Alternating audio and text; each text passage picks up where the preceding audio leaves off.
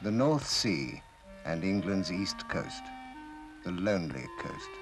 The quiet coast.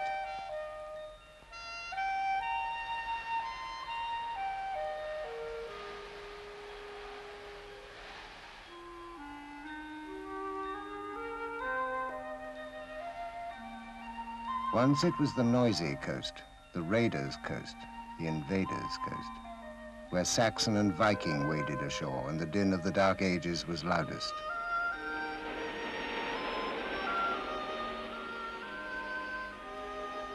But in the end, out of these shapeless centuries, the English nation took shape.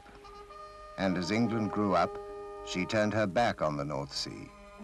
Her future was to be found in the Atlantic and beyond.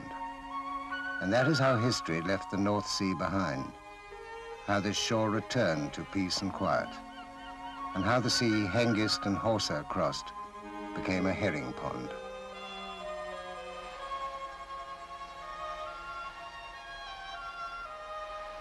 And so, even the invaders stopped coming. A thousand years of watchers and no callers. A thousand beaches and no beachhead.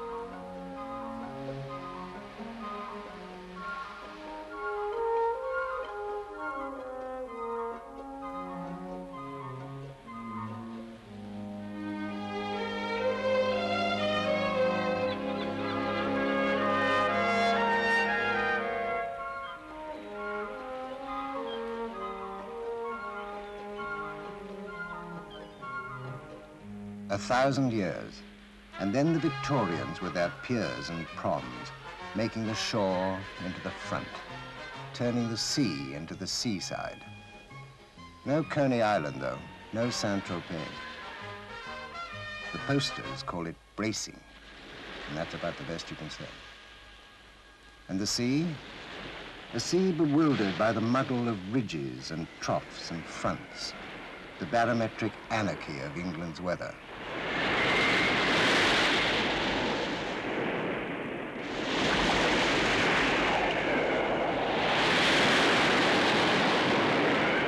Then suddenly the fine day, the flag of truce which no one trusts. Down on the foreshore where old ships sleep, where wrecks rust and the slow sea unpicks each steel stitch. Up on the cliff where sailors sleep, everything affirms the malice of this spiteful sea.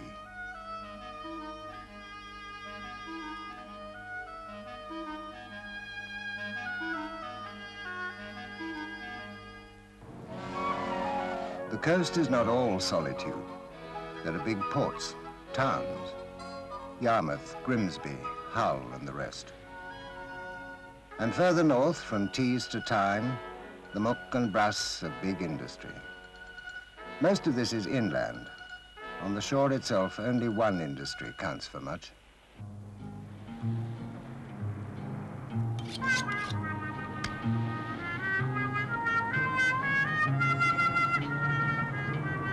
So time has changed Viking boat for fishing boat, and Norseman for trawlerman. Today, these are the Vikings of the herring pond, and the plunder they bring back will make fish fingers for supermarkets. So time has changed everything, everything but the sea, where the long ships once came in on the long swell.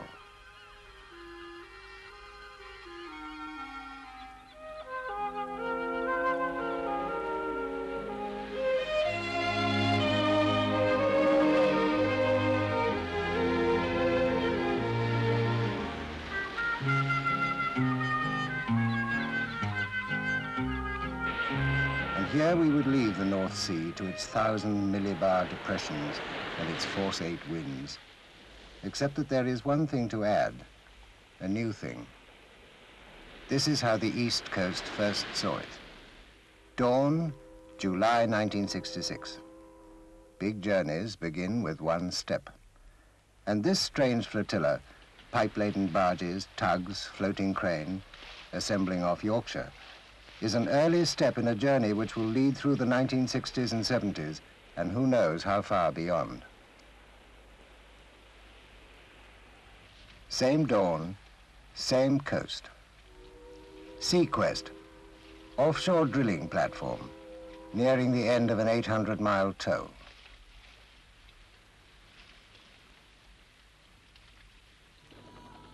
Nine months earlier, another offshore rig, Sea Gem, drilling 42 miles east of the Humber, had struck the first North Sea gas.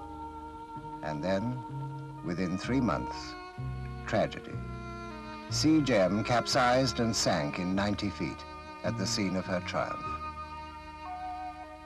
Now Sea Quest will continue where Sea Gem started, at a point on a chart in Block 48, Square 6, 42 miles off Grimsby.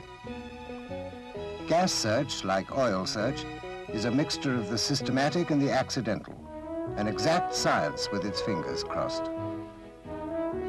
And Sea Quest is its newest creation, the latest in movable rigs, made to hunt needles in the seismic haystack.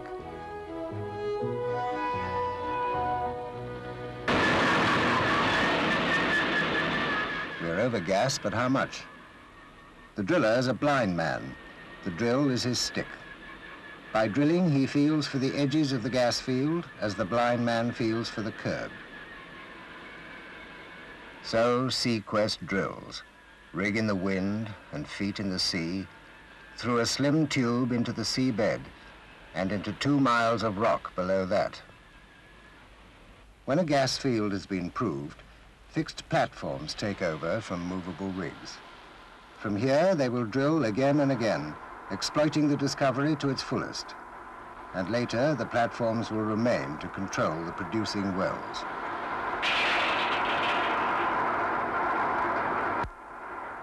Fixed platform, movable rig, life is much the same. Each tiny world preoccupied with its own problems and schedules. Each an iron atoll of catwalks and gantries and girders wide open to the punch of the wind.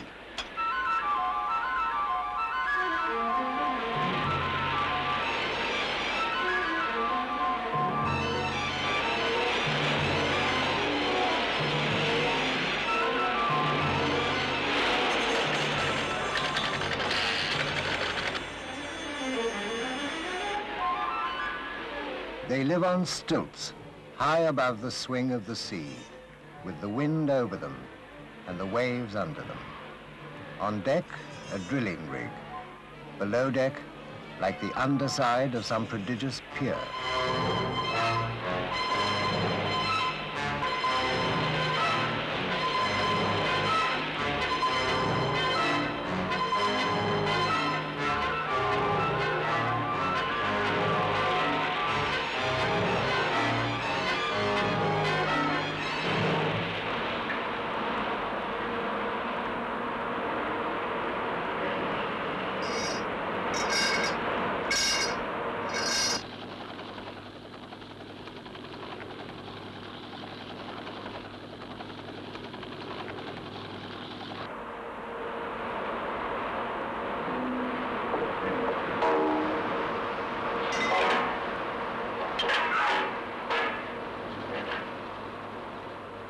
Helicopter eats 40 miles for breakfast.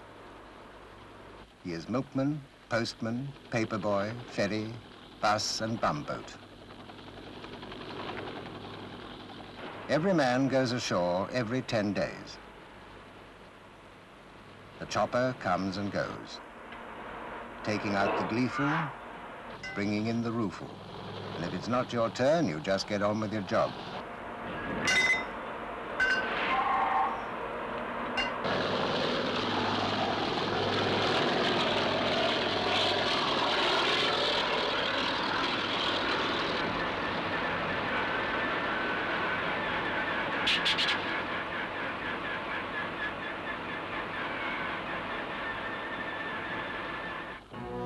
Back on the Yorkshire coast, the pipe is ashore.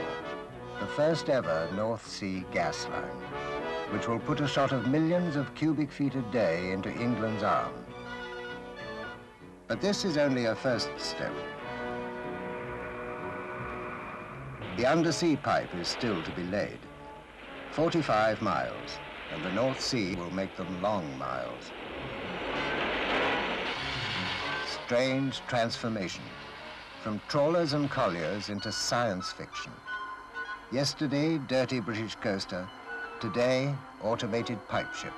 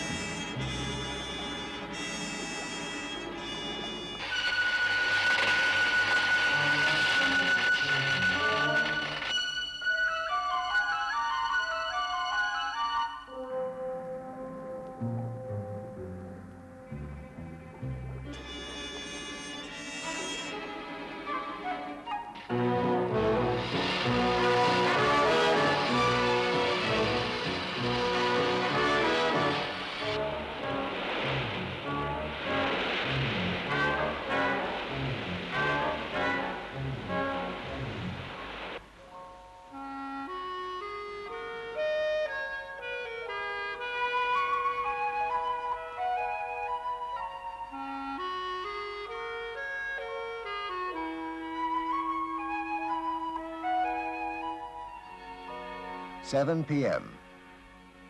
The last chopper lifts off and we raise the drawbridge. 45 miles away, it's theatre time, or dining out time, or slippers by the fire time. Here, it's just shift change time.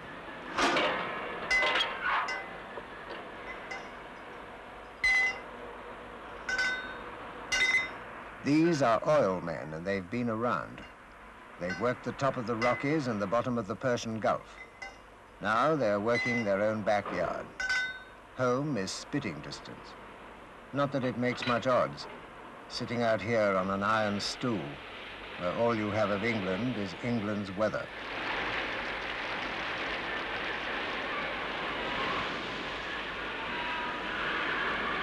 Strange place. Outdoors, wild as a cliff top. Indoors, silent as a submarine.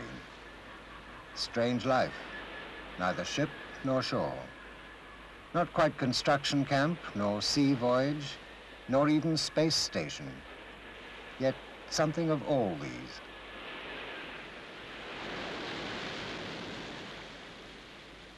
No seabed is a bargain basement. Once you leave the shore, every difficulty is tenfold, every operation slower, every cost higher, every risk bigger, every involvement deeper. And of all seas, this one never parted easily with anything.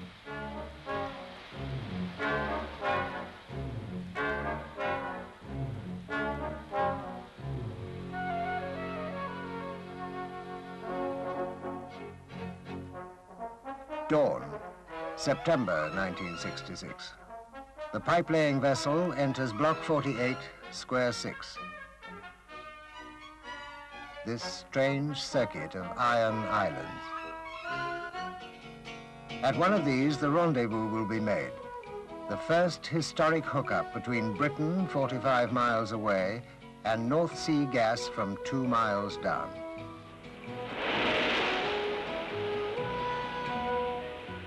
For over half a century, over half the world, the British have looked for fuel. And all the time, it was here, at the back doorstep, under the old herring pond. Gas in quantity, less than 50 miles from 50 million people. Today, the North Sea is a chessboard of concessions on which play has barely begun. These rigs are some of its kings and castles. And this same surly sea that wet Canute is the setting for the biggest industrial gamble in Europe's history. So now the herring pond has bigger fish to fry. And Britain's backwater, by one of time's twists, comes once more into the mainstream of events.